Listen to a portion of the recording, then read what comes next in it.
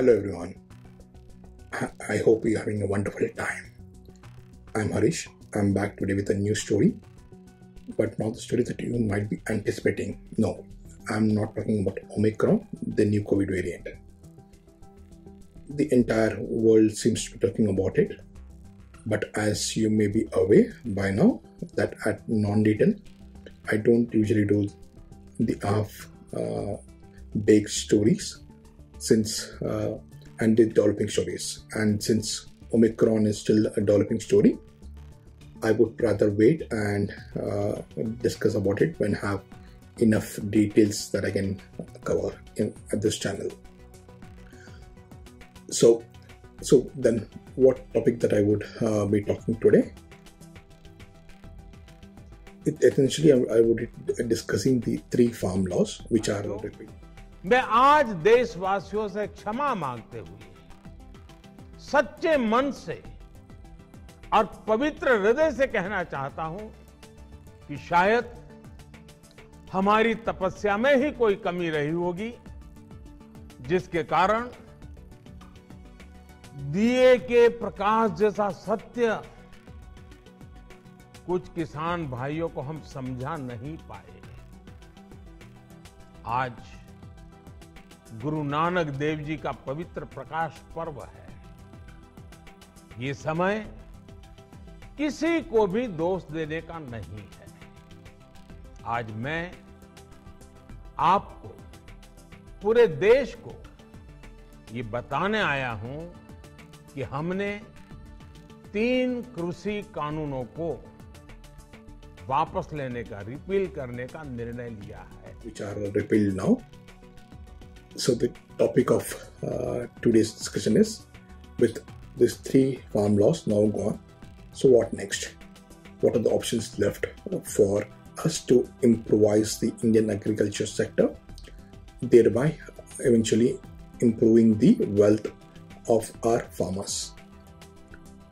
So the three farm uh, laws, which are the farm, which named as Farmers Produce Trade and Commerce laws, are repealed again, in, uh, uh, not again, are repealed in the Parliament again without any discussion.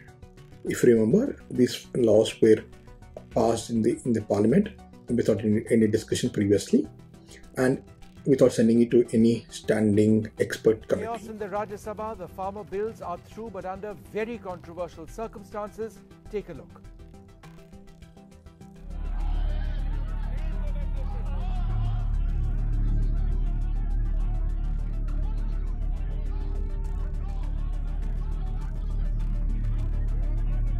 Democracy wins. So, before I begin the topic, I would uh, like to say that I'm happy that democracy prevailed at the end.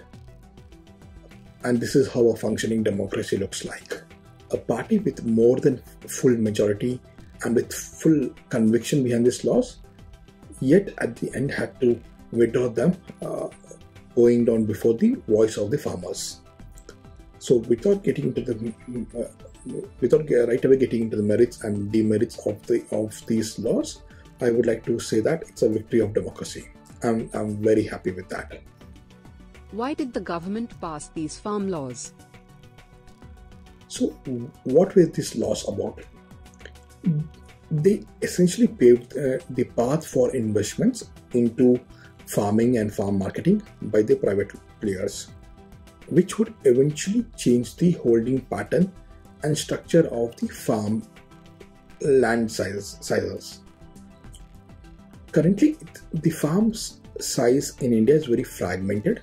The average farm size in India is, is about 1.2 hectare, and post these laws, it was anticipated that slowly the farm size would increase, and bigger the farm size, then it's better for innovate to bring in innovations. As big farms bring, bring in scale, right? So it, it's easier and also cost effective to bring in those innovations. So this was the broad idea behind the, these laws.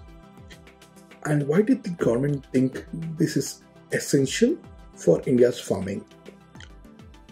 So more than half of Indians depend upon agriculture, which it contributes which the agriculture contributes only 60% of India's GDP. So if you relate, if you connect, more than half of Indian Indians are depending on only 60% of, of India's GDP, right? For, and for perspective, in, in America, only 3% of Americans are depend on farming. Essentially, because farming is not a very profitable occupation. So, and and and, far, and agriculture in India is growing at, the rate of three to four percent, while overall India is growing at, at at a substantially higher rate, right? Which means families that are agriculture dependent are becoming poorer and poorer when come year by year when compared to the other Indian families. So, by these reforms, if the agriculture productivity increases and its growth, growth rate increases, then it would not only create wealth for the farmers, it would it would also uh, uh, push the Indian uh, growth rate further. Plus, today India has around 81 million tons of grains and and by by by the ideal buffer storage standard it should ideally should be around 31 million tons so even by this number the government has already procured 2.5 times more than grains that it ever would need hence these grains are still in the fci godowns uh, most probably uh, they might uh, be uh, either exported at, at, a subsidized rate or it it may, may just rot in, in, in, in, in the godowns, right? And government has spent around 1.5 lakh crores to procure this, this, this, this, these grains. So that's the burden which government is looking at currently. And with these laws, government was aiming to open up the market for private players. Thereby, the hope was thereby to reduce the burden of procurement from the uh, government to some some extent that the, this this is, is one reason. The other reason also could be government government was looking at the environmental aspects. For example the water table in punjab is depleting by one foot every year and in central punjab it's it's it's, it's depleting by one one meter. Because we are essentially overproducing than what we uh, need since it looks like since, since some reasons could be since the water uh, is freely av- available the, as a commodity plus the electricity to pump this water is also in most cases is free and in some cases it's subsidy uh, subsidy based uh, by by the state, state governments. So agriculture so so this kind of uh, leading into overproduction of of uh, the grains that we we would ever need so since we are overproducing it would also mean that we we are re- releasing higher amounts of methane gas which methane is uh, 80 times more dangerous than carbon dioxide. So the more the agriculture it means the more methane we are we are, we are generating which is very dangerous for the as as as uh, for the environment. Plus also every year we do see that uh, due to stubble burning in Delhi and in, in and around Delhi, we see that uh, uh, there's a huge crisis of, of, pollution, right? So, considering both the economic prospects and, and environ, environmental aspects, the government might have mulled, mulled these laws. Bigger farms equals more profit? Now, let's question whether this understanding of bigger farms would mean more profitable farming. Are they directly correlated in, in any, any which way?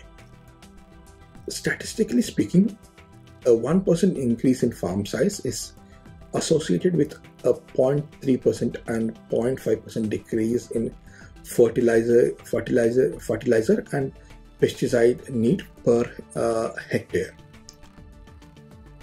respectively, and an almost 1% increase in agriculture labor productivity. While it only leads to statistically insignificant, which is 0.02% decrease in crop yields.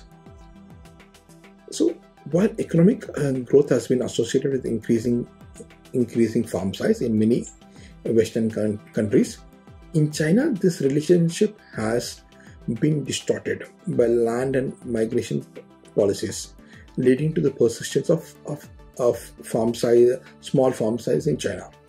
So similar to India, even China has this uh, uh, has this concern that their farms average farm size holding is smaller. So removing these distortions would decrease the agriculture chemical use by 30 to 50 percent and the envir- environmental impact of these of those chemicals by 50 percent while doubling the total income of all farmers including those who move to the urban areas so this is one study uh, which which uh, uh, is well established. Removing policy distortions, distortions is also likely to complement other remedies to the overuse problem, such as easing farmers access to modern technologies and knowledge and improving environmental regulation and enforcement. India is blessed with the highest gross irrigated crop area in the world with abundant rain and sunlight. We have uh, abundant rain and sunlight. But China, with lesser land, has been producing double the grains that we do. India's average farm size holding is little over one hectare, and in China it's it's it's about 2.5, which is almost uh, similar, right? In comparison, because because when we compare it to the Western world, especially with America, the average uh, farm size in US is 444 hectares. So India and China is almost in the, on, in the similar range. Then the question arises: Then how come China is producing higher throughputs when compared to India? Over the past four decades, China has caught up uh, to the agriculture uh, development that took the Western world 150 years to achieve, and that's that's how quicker uh, China has uh, its agriculture throughput. China's staple crops of corn, rice, and wheat all yield the most food per hectare at modest scales. One study suggested the sweet spot of farm size is between anywhere between 5 to 17 uh, hectares. So, if you've got a very small farm, a farmer is out there weeding and working very intensively. Uh, this is this is a note by Fred, Fred Gale, a senior economist at U.S. Department of Agriculture. And crop yields per acre will ref, uh, usually ref, reflect that. The crop yields per hectare is uh, when, when when when when done with manually yields higher than when done uh, through machines. China's plan is not so. China's plan is not to merge uh, the holdings of small farmers that because essentially China realized that it, would be nearly impossible uh, logically and would also spur social disruption by uprooting millions of farmers. Right now, can you connect that with India? What what's happening in India? So for now, at least the the idea of China is to cluster adjoining fields into farms.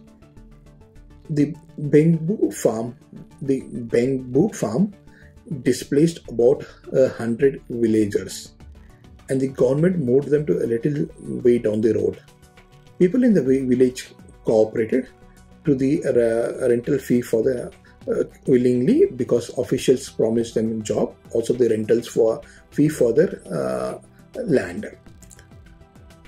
So hence this is kind of a arrangement which China has been uh, getting into. But in reality, this doesn't always happen.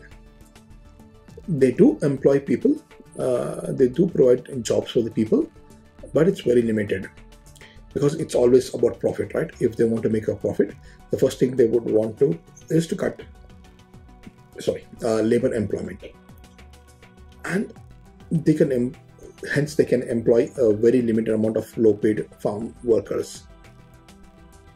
So there's a two this is a story there's a story the, uh, on the two sides of the coin right uh, even though china, china chinese government is getting into this uh, arrangement with the farmers uh, promising them certain uh, certain jobs plus rentals. Yet, in, in, in actuality, this is not an ideal uh, arrangement because it uh, because essentially due to profitability, uh, the the companies or the organizations are not employing a lot of them, a lot of Chinese men and women. So that's that one aspect, uh, and another reason for uh, which would go against having huge farmlands is essentially when, whenever there's a contam- contamination, it could spread far more widely and rapidly um, in, in, in, a, in a centralized system uh, when compared to a decentralized system. So nearly uh, all uh, uh huge farms are run in China are run by government, its cooperatives and businesses. Experts may debate what size farm size would produce the most food per acre, acre but industrial farms still generate profit far more readily than the smaller ones. Also, China's organic sector has been booming, with, sales growing, uh, growing as much as 30 fold since 2005, according to a recent uh, industry analysis report. For consumers, the appeal of small farms is twofold. It's partly about trusting the farm to supply safe food. We, we usually tend to trust our friendly neighborhood, right? When compared to a huge conglomerate of, of, of, of companies. So, but smaller farms also uh, reflect China's agricultural traditions. A, lead, says a leading uh, scholar of rural, rural China and that appeals to uh, rural and urban Chinese alike. And that's also the reason why um, uh, the, the, the, farm sizes in China uh, are smaller, and that may also be a reason why it's, it's small. And uh, the farm size is small in India as well, because in, essentially in Asia, the agriculture is almost 40 centuries old, and over a period of time, with with division with, with division in the farm rate per generation, eventually we, would end up having much smaller farm sizes, right? It's it's a very organic way that that, it, that happens. However, two institutional features are contributing to prevalence and persistence of small farm size in China. They are the HC, HCRS and the Hukou system. The HCRS allocates 98% of China's cropland to about 200 million uh, rural households with limited transferability. Estimates from several surveys and the recent National Agriculture Census suggest that the typical household farm size in China is around 0.5 hectare. This is a typical farm, not the average farm size which I discussed earlier and this is also under HCRS. This average farm of 0.5 hectare is further divided into 4 to 5 parcels to ensure that both high and low quality land pieces are fairly allocated across households. Now you can imagine 0.5 hectare is again divided into uh, 4 to 5 pieces. So in comparison, Indian uh, farms are quite bigger than these uh, holdings, right?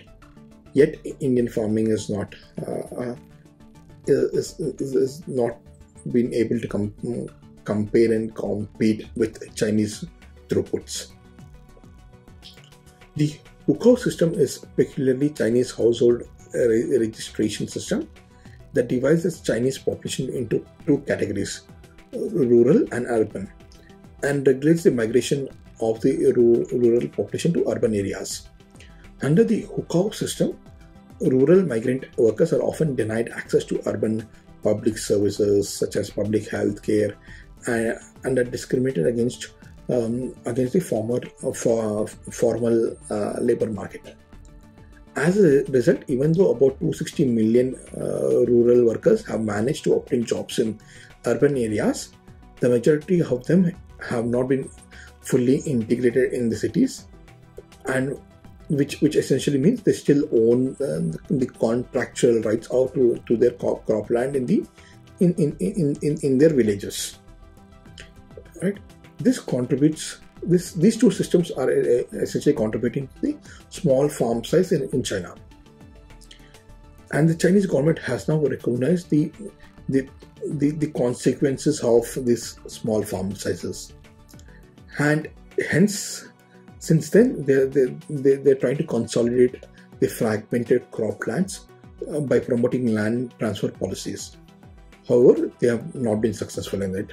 And to till date these policies have not been effective due to high transaction cost that that, uh, that, that is involved in transferring the lands right?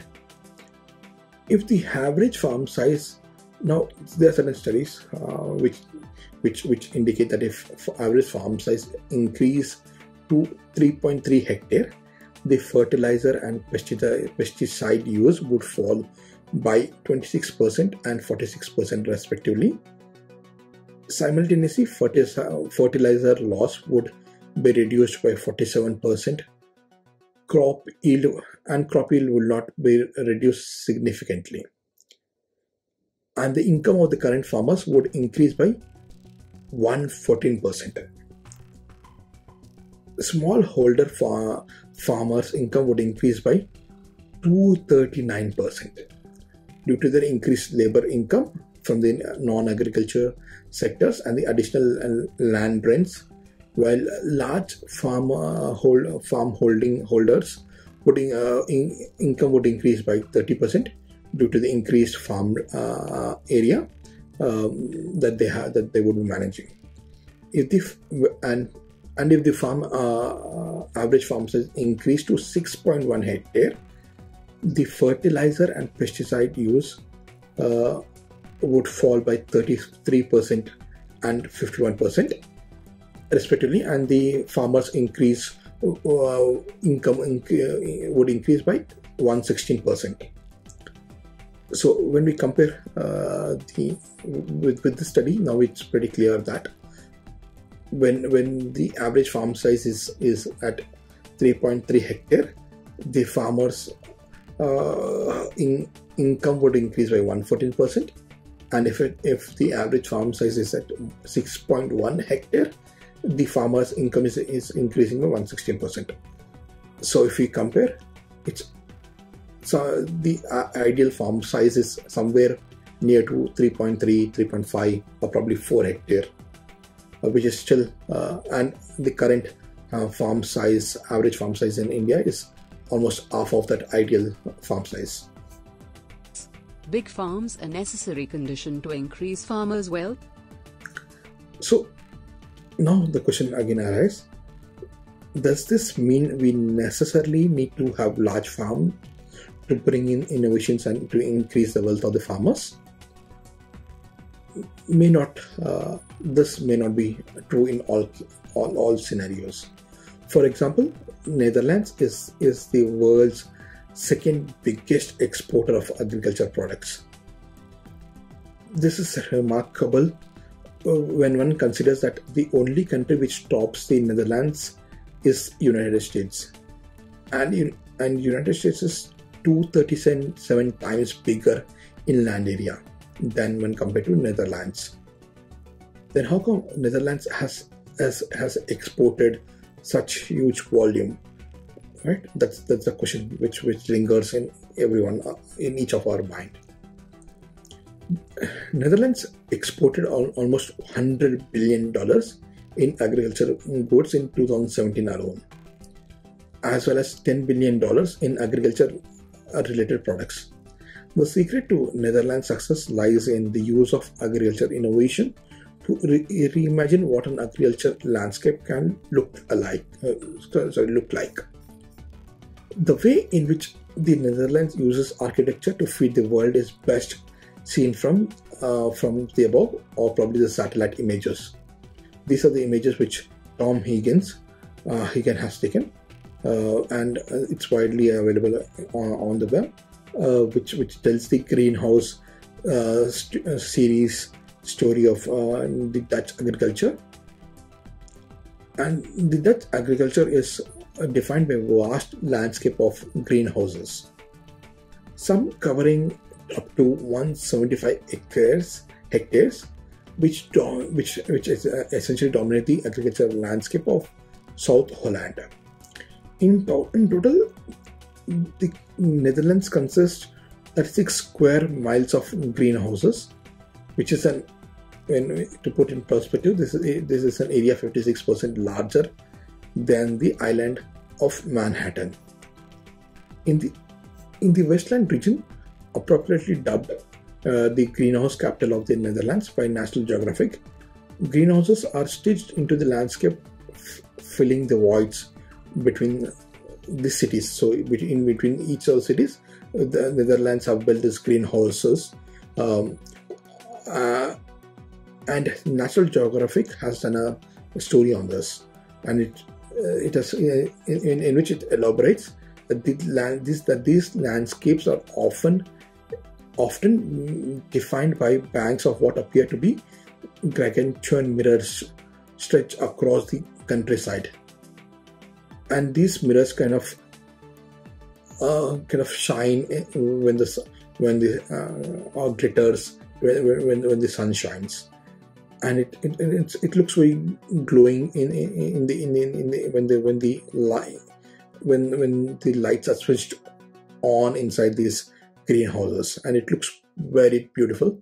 Uh, uh, and you can see them see, see that in, in the images underneath the, the sea of illuminated glass roofs tech savvy farmers use hydroponic systems and geothermal energy to generate unparalleled yields using little resources.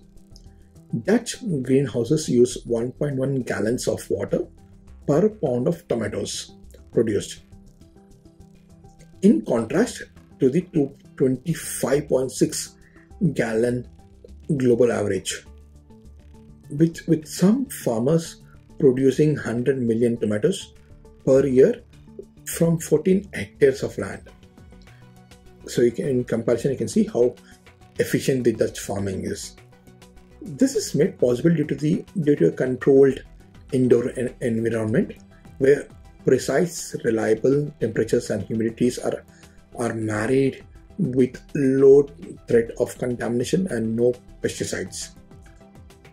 Double glazed roofs allow for the retention of heat, while light modular steel frames allow for rapid expansion and, ada- and adaptation without hampering natural light. Operators such as Dewitz, Dewitz Jason, sorry if I I was not able to pronounce uh, his name. Uh, so operators uh, so, um, who, who are handling these greenhouses uh, are, are very innovative. Uh, for example, uh, one such opera, operator has been leveraging the carbon dioxide from a local shell oil refinery and, and has piped in uh, that CO2, CO2 into the greenhouses to aid plant growth. While LED lights allow for plants to continue growing throughout the light. By 2050, we'll need to feed 10 billion people on the planet, which will be more challenging due to the impact to the climate change impact uh, this is going to have right on the soil as well as a lot of other uh, clim- climatic conditions the uh, result will be a need for greater agriculture yields using less water less energy and less land the recent world resources report warns if our current level of production efficiency uh, continues feeding the planet in 2050 would require clearing most of the world's remaining forests. Imagine our, our Earth without any forest, right? It's it's it's it's, it's, it sounds very dreadful, right? Wiping out thousands of, which would wipe out thousands of species and and really and it release enough greenhouse gas emissions to exceed the 1.5 degrees centigrade and 2. degrees centigrade warming targets uh, uh, that were enshrined in the Paris Agreement. Even if that this this is this would happen even if emissions from all other human activities were assumed to be uh, not existent. So it's crucial that innovative agriculture techniques should be explored um, in, in in other countries as well, like how uh, the Netherlands has uh, done and scaled up their agriculture. Um, this may need some short-term commitments, but it has a huge uh, long-term benefits. Now, the, the next question that may arise is that Netherlands, the, the, the this through their very ultra-modern technologies, whether and whether it is possible in India. A, a, quick answer to that is well, it may well be possible because it's, it's at the end it's a technology. Technology can be transferred and learned and implemented. But what may be challenging is this adaptation adaptation of this greenhouse technology would mean uh, it will be mean very transformative for Indian agriculture and, and the farming, and it would mean it would displace millions of farmers out of agriculture. And then government would have to provide them other means of livelihood, which is very Herculean challenge, right? And going by what what is hap- currently happening in India, this looks very infeasible uh, uh, for the for the political reasons. Does that mean India has only two options left? One is to let it conduct its farming the way it is doing today, and the second option is to rock the boat through these farm laws. but as you all as we all know, the government has already failed in the second solution, and it's quite possible that no other future government would even try any agriculture reform again for many years from now. Then, what is the alternative at the policy level, which could be a middle path? Do such option even exist? Yes, we can explore many such options, one of which could be what Israel has done. Israel has not only managed to create a remarkable agricultural transformation, but has emerged as a global leader in agriculture and water management. Israel's approach in the 1950s and 1960s consistently showed visionary, visionary leadership in a long-term commitment to agriculture and, and water. In the early years, 30% of, of its national budget was devoted to agriculture and water, with another 30% for uh, being devoted to education. You can imagine 60% was was uh, assigned to agriculture and, uh, and education, which is quite phenomenal, right?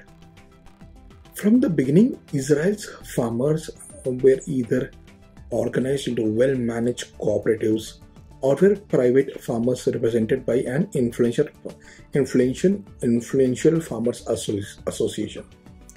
This connection to a larger unit of production is critical to facilitating their bargaining power, enabling them to compete and function effectively, giving access to finance, research, training, farm inputs, and markets.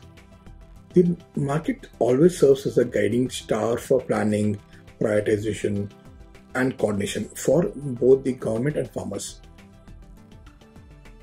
Crucially, from the outset, there was parallel development of both the domestic market for food self-sufficiency and uh, the international export market for economic growth.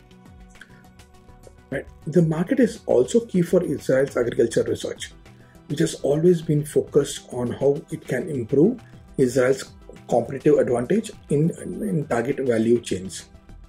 This is how Israel has come to lead the world in numerous products, including dates, pomegranates, oranges, and tomatoes. Israel has a farmer-centric, multidisciplinary, multidisciplinary and innovative approach to solve farmer and private sector problems.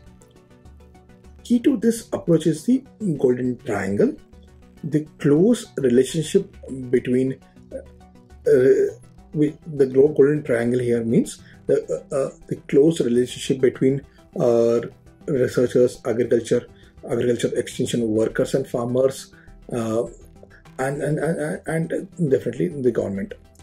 This is supplemented by agro industry, which is essential to commercialize innovative solutions and make them available nationwide. So, with in this discussion now we have seen several possibilities and many options that the government can still explore or could have already explored.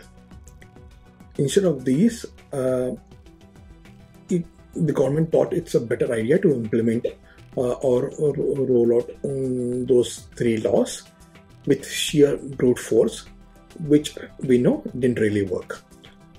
Well, how, how would it work? If you if you in this discussion in, in this discussion, we have seen this even in country like China, which is more authoritative and autocratic in nature, has not been able to combine their fragmented farms and it, it, it has failed to do that right?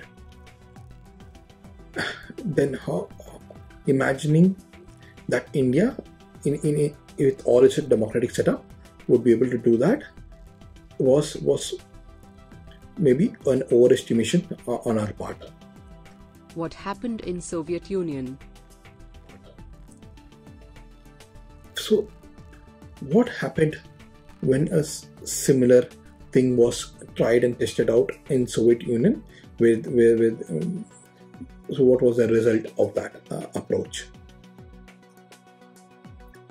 Kulaks the peasants in the Soviet Union were wealthy farmers during Lenin, Lenin's times as they could sell their produce wherever they wished.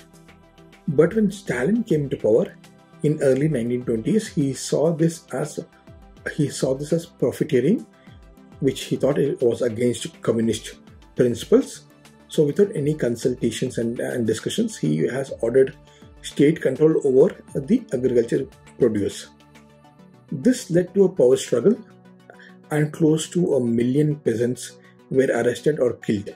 Million peasants, million farmers, I mean, were either arrested or killed which obviously would uh, followed would lead into a wide starvation across uh, Soviet Union.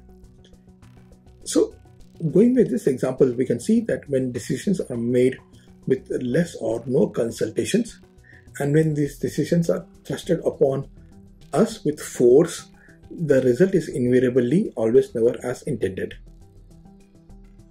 Bad politics affect good policies. How does bad politics affect good policies? Talking about consultations, if we rewind and remember what was going around a few months or a couple of months before these bills were, the farm bills were tabled in the parliament. And when we answer this question, we would know how bad politics affect good policies. So, if we remember the entire episode, episode uh, when the nation uh, whole nation was engaged into. And the and the episode that I'm talking about is the Sushant Singh Rajput, uh, Rhea and Kangana and, and, debate that that was carried out for several mon- months in in, in, in in all the media outlets as well as in, in common uh, discussions discussions. देशवासियों Sushant Singh Rajput case में जो लोग सुशांत के परिवार को धमकी दे रहे थे, वो अब सुशांत के साथ खड़े हर हिंदुस्तानी को धमकी दे रहे ये धमकी दी जा रही है। मुंबई में आओगे तो देख लेंगे। क्या देखोगे संजय राउत? मुंबई में रहता हूँ, मुंबई में रहता हूँ। मुंबई में घुसकर मुंबई पुलिस से सवाल उठाता हूँ। क्या कर लोगे संजय राउत? अब कौन हो तुम?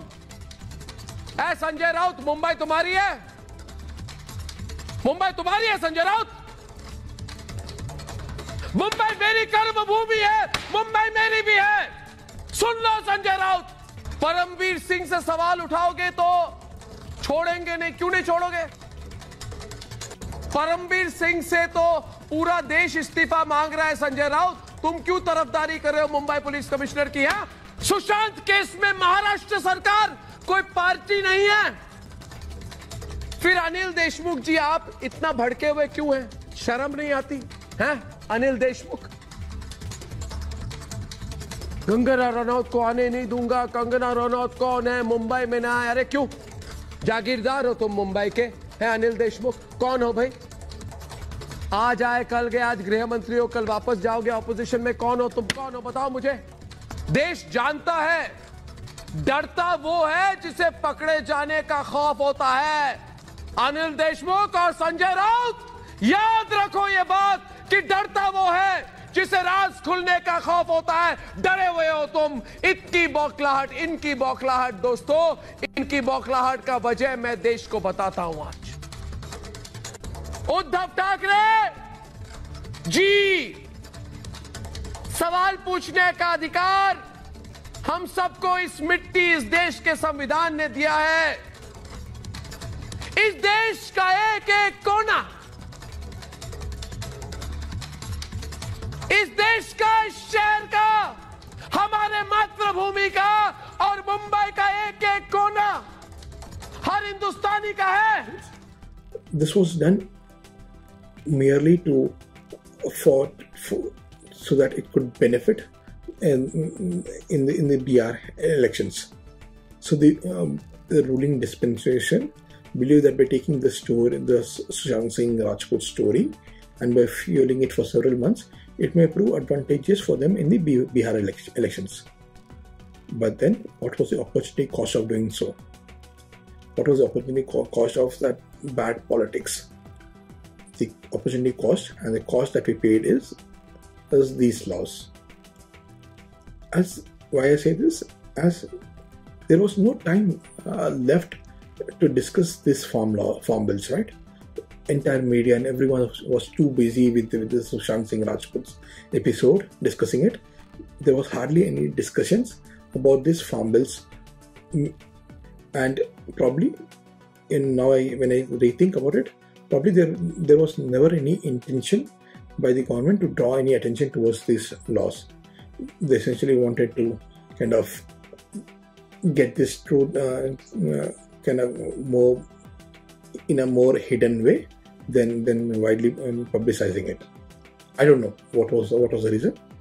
So we so without whatever the re- whatever whatever might be the reason, without engaging, without discussing, without bringing in that deserved awareness among the farmers, these very crucial bills were tabled in the parliament, and they were passed bulldozing the oppo- opposition. They were passed without any discussion. They were passed without seeking any expert committee consultations. Right, and it was always going to bite, bite back, and it indeed did bite back. So, bad politics always invariably end up affecting good policies. How government should have conducted itself. How, how should the government have conducted uh, while bringing in such crucial laws? In 1991, PM Narsimha, Narsimha Rao cons- consciously slowed down the liberalization reforms at the risk of being labeled as too slow in decision making. He was widely mm, uh, condemned that he is too slow in, in, in decision making back back in those days.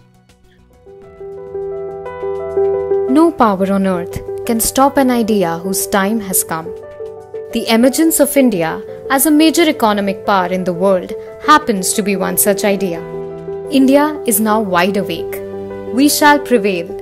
We shall overcome. These words were spoken during the 1991 budget presentation by then Finance Minister Dr. Manmohan Singh and ushered in a new age for India.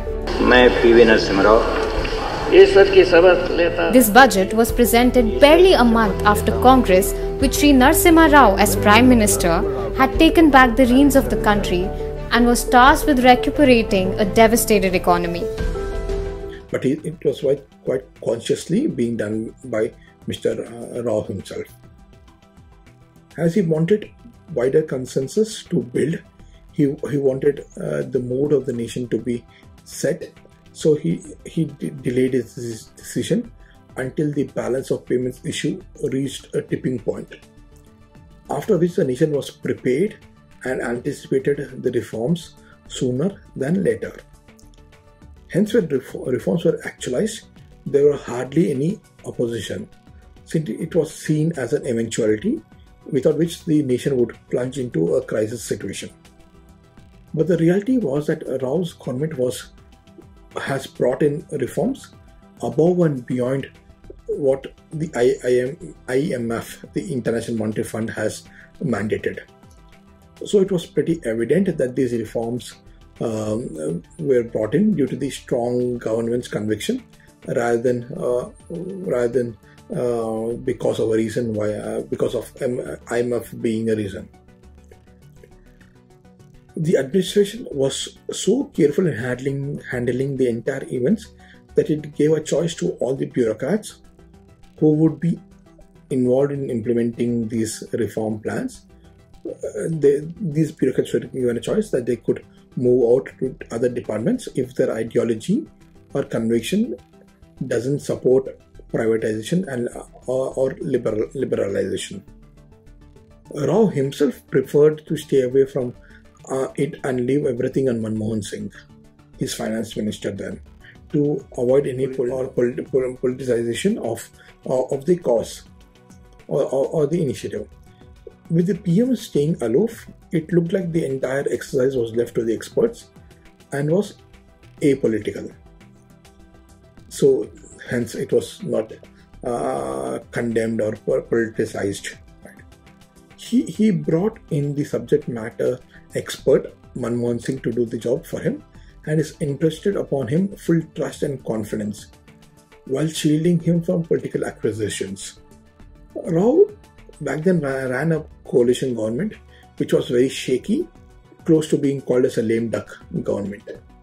Yet he was able to bring about such huge farm, uh, reforms as the, uh, as the key was to bring in consensus and not to rock the political system. Um, so he pushed everything very gradually with utmost care. He never, and when it was done, he never claimed claimed a victory through the uh, because he didn't want any politicization of these reforms. Now, when we compare how Rao, Rao's government conducted itself and how the current government conducted itself while while rolling out these reforms, there, there is a sharp contrast, right? And that contrast made all the difference. Maybe the brute majority in the parliament kind of masked, masked their understanding of the situation and has filled them up with this wrong sense of entitlement. An entitlement for tabling and passing any law as and when they wish without any without creating any support or consensus or uh, without any discussion.